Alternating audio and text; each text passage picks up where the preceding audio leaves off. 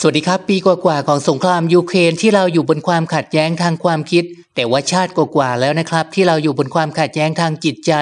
การเลือกข้างอันนี้เป็นธรรมชาติของมนุษย์ ถ้าเลือกแล้วมีเหตุผลที่รองรับที่มันเป็นเหตุเป็นผลจริง ๆ ก็คือการพิเคราะห์นะครับ ส่วนการเลือกโดยใช้อารมณ์ และก็ความชอบที่ตัวเองในคิดแล้วก็สร้างขึ้นมาเอง อันนี้ก็น่าจะเรียกว่าความคลั่งหรือว่าความกระสันซึ่งลักษณะนี้ไม่จำเป็นต้องใช้เหตุผลนะครับแอดมินเคยไม่คุยกับเพื่อน เพราะว่าเพื่อนเชียร์ลิเวอร์พูลและทุกครั้งที่ลิเวอร์พูลชนะ เราต้องรับฟังทุกอย่างที่เขาอยากจะพูด แต่ว่าพอลิเวอร์พูลแพ้ ห้ามใครพูดถึงเรื่องนี้ และถ้าใครพูดก็จะไม่พอใจฮึดฮัดแอดมินเลือกที่จะไม่พอใจเพื่อนคนนี้นะครับและแอดมินไม่ได้เกลียดลิเวอร์พูลเพราะว่าสโมสรไม่ได้มาเกี่ยวข้องอะไรด้วย ส่วนมากคนที่เชียร์ลิเวอร์พูลก็จะเป็นแบบนี้ ดูเป็นคนเป็นคนไปนะครับ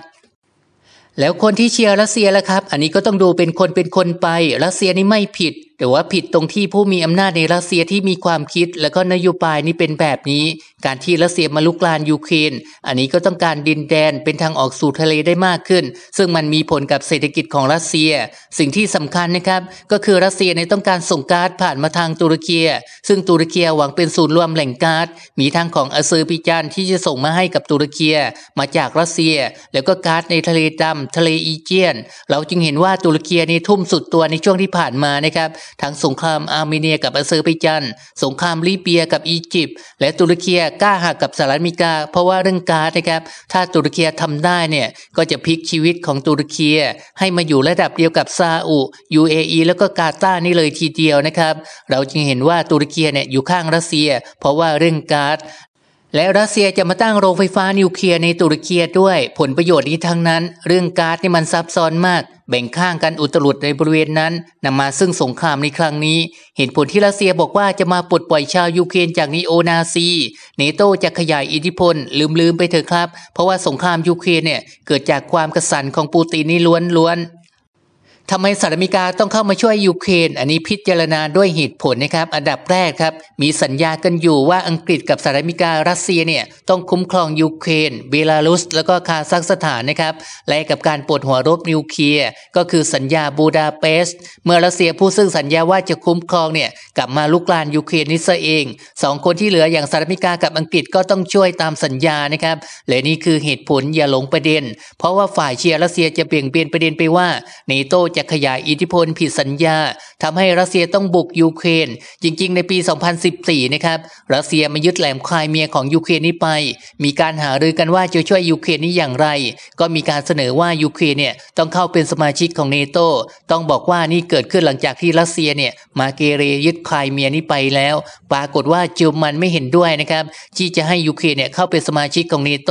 ทุกอย่างมันก็จบไป เพราะว่าไม่เอาคนเดียวก็เข้านาโตนี้ไม่ได้แล้ว อันนี้ก็ต้องอธิบายกันนะครับ หลายคนก็ยังไม่เข้าใจตรงนี้ เพราะว่าไม่ค่อยมีคนอธิบาย ส่วนมากทำคลิปยูเครนเนี่ยก็จะเอามันนี่อย่างเดียว เพราะฉะนั้นเรื่องของนาโต้ขยายอิทธิพลนะครับ ต้องดูว่าสาเหตุมันมาจากอะไร ก็คือรัสเซียมาระรานคนอื่น จนคนอื่นเนี่ยต้องหาที่พึ่งนะครับ พอรัสเซียบุกยูเครนนะครับสหรัฐอเมริกากับอังกฤษจำเป็นต้องช่วยตามสัญญา แต่ว่ามีข้อจำกัดนะครับ เพราะฉะนั้นการที่มีคนบอกว่ายูเครนเนี่ยหลงเชื่อตะวันตก ถูกตะวันตกใช้เป็นเครื่องมือหลอกใช้ ไม่ฉลาด อันนี้ก็คงไม่ใช่ มันคือความอยู่รอดนะครับ ถ้ายอมรัสเซียก็เป็นเบี้ยล่างไปตลอดการ สู้ก็ยังมีสิทธิ์รอด ก็เหมือนคราวที่พันนเรศวรกู้บ้านเมือง พ่อนี่ยอมพม่าไปแล้วยอมเป็นเมืองขึ้น ก็เพื่อตัวเองจะได้มีอำนาจ ตลอดเวลาที่อยู่ภายใต้พม่านะครับก็มีแต่ความอัปยศไม่มีเกียรติ สุดท้ายสมเด็จพระนเรศวรต้องลุกขึ้นมาสู้ แล้วก็ไม่มีใครไปตำหนิว่าลุกขึ้นมาสู้ทำไม ไม่มีใครบอกว่าไม่ฉลาด ยูเครนก็เช่นกันนะครับ ทนทุกข์อยู่ภายใต้รัสเซียมาตั้งแต่เป็นโซเวียต จะให้ยอมตลอดคงไม่ได้ อันนี้ผู้ชมก็พิจารณาเอาเอง ดูถูกยูเครนเท่ากับดูถูกตัวเอง ที่เคยอยู่ภายใต้พม่านี่มาก่อน เสรีภาพก็คือความต้องการพื้นฐานของมนุษย์นะครับ แอดมินก็หวังว่าอธิบายแล้วผู้ชมจะเข้าใจนี้เพิ่มขึ้น และก็มีบางคนคิดแบบมนุษย์ถ้ำนะครับ ว่าสหรัฐอเมริกาต้องการขายอาวุธ จึงยุให้ยูเครนนี่ลุกขึ้นมาสู้ จริง ๆ ที่สหรัฐอเมริกาเอาอาวุธให้ให้กับยูเครนนี่นะครับไม่ได้สักบาทนะครับ แถมต้องหางบมาฟื้นฟูประเทศยูเครนหลังสงคราม มันไม่เหมือนบางประเทศนะครับที่ให้เงินกู้คิดดอกแพง สุดท้ายยึดสัมปทานยึดที่ดิน แล้วก็โวยวายนี่ไม่ได้ เพราะว่าไม่มีเงินใช้คืนเป็นกับดักนี้นะครับนอกจากสัญญาบูดาเปสต์ที่สหรัฐอเมริกากับกับอังกฤษที่ต้องช่วยแล้ว ความถูกต้องก็เป็นอีกเหตุผลหนึ่งนะครับ ถ้าปล่อยให้รัสเซียทำตามใจ ไม่มีขือไม่มีแปร จะอยู่กันอย่างไรล่ะครับ หมากัดอย่ากัดตอบไม่ได้นะครับ ต้องป้องกันตัวไล่ทุบมัน ไม่งั้นหมาก็ได้ใจ ก็จะรอบกัดเรานี่ไปเรื่อยล่าสุดสหรัฐอเมริกานี่ส่งความช่วยเหลืออีก 2,600 ล้านดอลลาร์ หรือประมาณ 87,594 ล้านบาท รายละเอียดนี่แบ่งเป็น 2 ส่วนนะครับ ส่วนแรก 500 ล้านดอลลาร์ก็ประมาณ 16,845 ล้านบาท ก็จะมีจรวดหรือว่าขีปนาวุธ ที่ใช้กับระบบป้องกัน Patriot ต่อมาเป็นจรวด HIMARS อันนี้หมายถึงลูกของมันนะครับ ไม่ใช่ตัวยิง กระสุนปืนใหญ่ 155 แล้วก็ 105มิลลิเมตรลูกปืนครก 120มิลลิเมตรกระสุนรถถัง 120มิลลิเมตรแล้วก็ 105มิลิเมตร105มิลลิเมตรนี่ใช้กับรถถัง Leopard หนึ่งนะครับกระสุน 25มิลลิเมตร ขีปนาวุธ TOW ทำลายรถถัง เครื่องยิงระเบิด 400 อัน พร้อมกับกระสุน 200,000 นัด อันนี้เอาไว้จัดการกับทหารกล้าบนะครับ อุปกรณ์พิเศษ 11 คัน รถเติมน้ำมัน 61 คัน รถบรรทุก 10 คัน รถลาก trailer 10 คัน รวมอะไรต่างๆ นี่คือส่วนแรก 500 ล้านดอลลาร์ เตรียมบุกแล้วแน่ ๆ นะครับส่วนที่ 2 อีก 2,100 ล้านดอลลาร์ หรือว่าประมาณ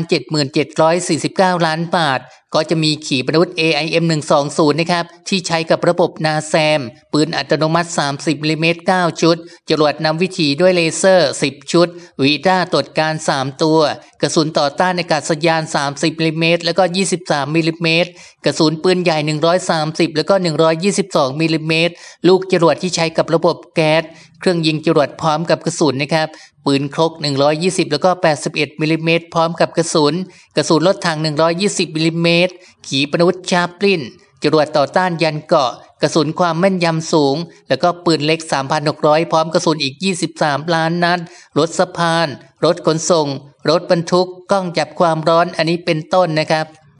อันนี้บอกกันชัดๆ เลยว่ายูเครนเนี่ยจะได้อะไรบ้าง รัสเซียนี่ห้ามงองแง อยากทำสงครามเองนะครับ มันมีผลนะครับที่สหรัฐอเมริกาเนี่ยรักษาระดับของสงคราม มันเหมือนไม่เด็ดขาด แต่ว่ามันจำเป็นต้องทำแบบนี้ จะใช้อาวุธหนักนี่ไม่ได้ เล่นเกมนี้กับรัสเซียนะครับ ดูว่ารัสเซียเนี่ยจะยอมเจรจาไหม